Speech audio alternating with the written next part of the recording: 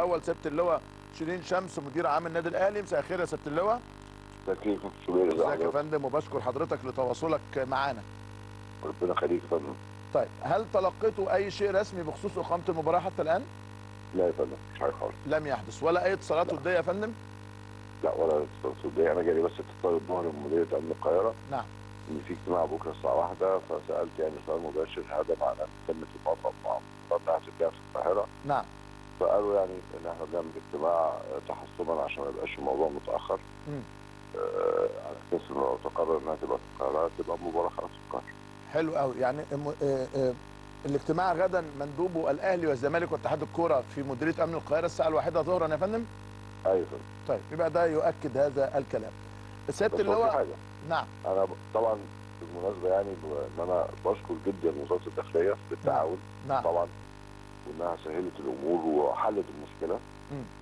وفي نفس الوقت سهلت علينا كمان إنه يعني خلاص بدأنا المباراه في القاهرة إن شاء الله بإذن الله أنتوا خلاص المعسكر اللي كان متجه إلى برج العرب اتجه إلى أحد الفنادق هنا في القاهرة. ما أنا برضو مستني رد حضرتك برضو. أصل أنا بصراحة ما بعرفش أ- أ- أتفق أو إن أنا آخد قرارات الا. لما يجي لك جواب. بالظبط كده. نعم. وبالتالي إذا كانت المباراة إن شاء الله بإذن الله 29 في القاهرة في بيت. يبقى ده هيسهل مأمورياتنا يبقى الدور الثاني إن شاء الله ملعبنا السلام ونلعب في القاهرة برضه وده ما فيش مشكلة في القاهرة يعني. آه تلعب في السلام. آه طبعا ما هو ده ماتش بقى. آه صح. ده كلام تصدق أنت آه، سبقتنا كلنا ما حدش فينا فكر فيه. لكن آه، يحلها الحلال. هتكون آخر آه مباراة في الموسم. ربنا آه, يكرمنا إن شاء الله. آه تكون الدنيا. انتهت يعني. طيب آه، هل بس اتفضل. تمشي كويس بس. الأمور تمشي كويس. الأمور. تمشي كويس.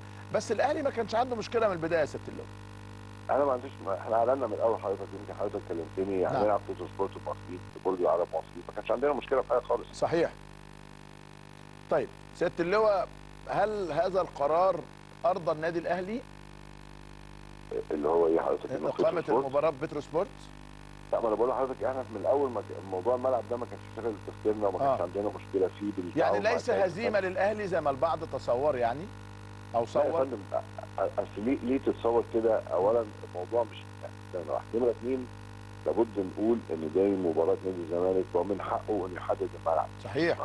النظام كده ما هو لازم نتبع النظام بقى الموضوع مش خناقة وفينا جميل. نتصل عليه نعم. لكن اللي إحنا اعترضنا عليه إن حضرتك قبلها بثلاث أيام وحضرتك امبارح قلت لك ما تدينيش مباراة تسويقية. وتنظيميه قبلها بثلاث أيام. نعم. لا ما- نغيرش. إحنا ماشيين على جدول نمشي بقى ماتش الزمالك الأولاني في بترو سبورت حاضر. خلاص. مم. الأمن بقى مش عايز بترو سبورت ودي حاجة أمنية لا لابد نحترم ده.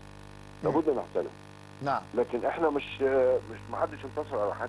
نعم. هو اللي ينتصر ال- النظام اللي ينتصر اللوائح اللي ينتصر الترتيبات الصح اللي ينتصر اللي ينتصر الاحترافية. الاحترافية في التعامل. بس هو ده اللي ينتصر. نعم.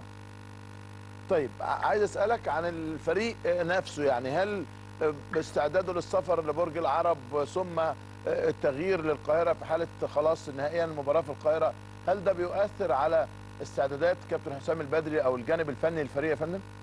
لا خالص أنا كنت مع كابتن حسام النهارده وكابتن سيد في التمرين الظهر. على الرغم إن أنا يعني تعبان جدا مم. بس يعني برضه حبيت أروح لهم نعم قالوا لي إدونا القرار آه، هنلعب في القاهرة إحنا ما عندناش مشكلة هنلعب في اسكندرية ما عندناش مشكلة. آه مفيش مشكلة عند الجهاز الفني خالص فرصة إن أنا أسألك عن رامي ربيعة النهارده. أصيب وأنا عارف رغم مرضك برضه بتبقى حريص إن أنت تتابع تدريب الفريق واتعملت له أشعة والحمد لله أثبت سلامتها لكنه قالوا إنه خارج المباراة كان كان هيتعمل له من شوية رنين مغناطيسي. آه أنا الحقيقة حضرتك يعني أنا أنا وقفت معاهم ولما ابتدوا التمرين لأن يعني الجو كان صعب عليا شوية نعم. التعب اللي أنا فيه. آه. فانا كنت مشيت بس عرفت بعديها.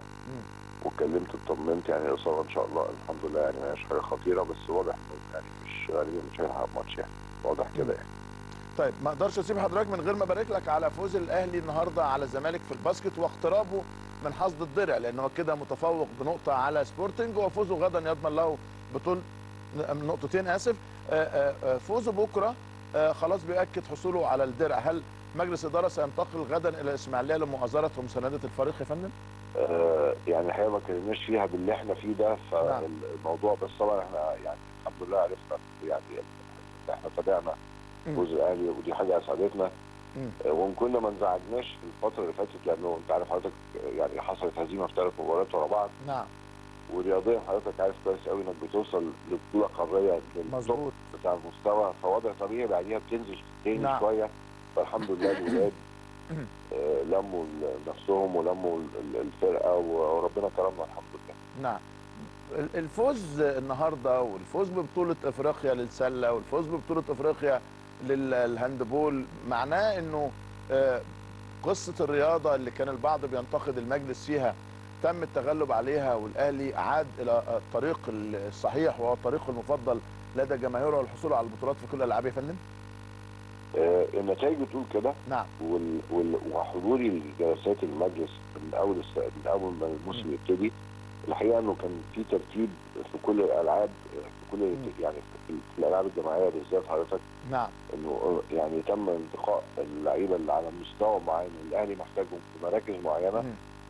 وبرضه في نفس الوقت يعني أنا برضه الشكر مجلس الإدارة وبرضه الشكر ال- يعني لابني آه، كابتن آه، مروان هشام لأن هو تولى الموضوع ومحدش حس بيه خالص صحيح وهو بيتفق مع كل اللعيبة وبيخلص كل الاتفاقات ولا حد حاسس بيه وده ولا وده أصغر. أصغر عضو في مجلس الإدارة مروان يعني وبقول لحضرتك يعني مجهود خرافي. مع عمله الأصلي لأن هو راجل بيشتغل برضه عنده عمل بيخلص كل يوم 5 و6 يبتدي تاني من الساعة 6 مم. مم. يشوف اللعيب ده في ال basket وال handball وفي ال volley ومشي ورا كل الناس وخلص كل الصفقات بمنتهى النجاح. إحنا نفسنا ما كناش حاسين يعني. يعني ما حسسناش هو بأي حاجة أو بمجهود هو بيعمله. لا الراجل بيشتغل بحبه واعتبر إن ده شغله بيخلصه. ويعني الحقيقة يعني له كل الشكر في هذا الاتجاه الحقيقة يعني. الحقيقة كمان لازم أشكر آه، يعني أشكركم كنادي على تنظيم بطولة أفريقيا للسلة. وكمان آه، يمكن أنا انتقدت الدكتور مهند مجدي في قصة الدعوة.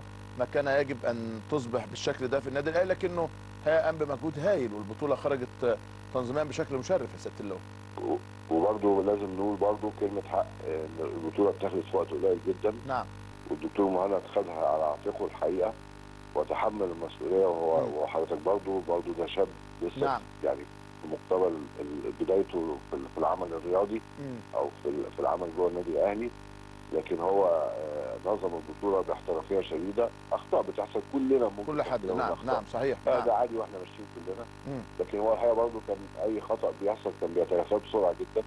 ما. كناش بنحس بيه برضه وكان بيتواجد في النادي من 8 الصبح لغاية 11 و12 واحدة بالليل. وكل صغيرة وكبيرة ويروح على الفنان يشوف الفرق ويشوف وضعها إيه. وبرضه ما حدش حاسس هو بيلف ويدور ويجري في كل. الاتجاهات. ويدور على كل الفرق وعلى كل الترتيبات مم. ومن غير ما يتكلم ومن غير ما حد يحس ومن غير ما يعمل بروباجندا.